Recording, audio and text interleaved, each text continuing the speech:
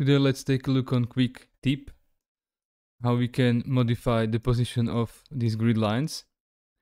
So as we know in Revit if we have grid lines they are locked together and if I move one grid line all of them move together.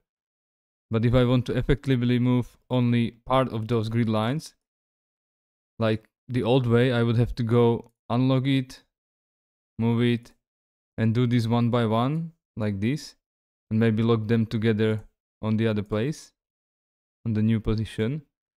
But as you can see this is quite time consuming so there is an easier way how to do this and that is by leaving only the grid lines which I want to move visible. So I will just hide these. And now if I move the grid lines which are visible I will be moving only the grid lines which are visible and not the ones which are hide or hidden. As you can see, this way I was able to move the grid lines only the portion of them. So let's say that I now want to move only like